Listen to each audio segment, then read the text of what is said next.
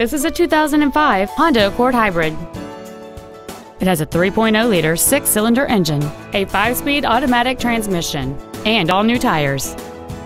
Its top features include a power moonroof, heated front seats, a navigation system, a six-speaker audio system, a leather interior, a double wishbone independent front suspension, alloy wheels, a traction control system, air conditioning with automatic climate control, and this vehicle has fewer than 39,000 miles on the odometer.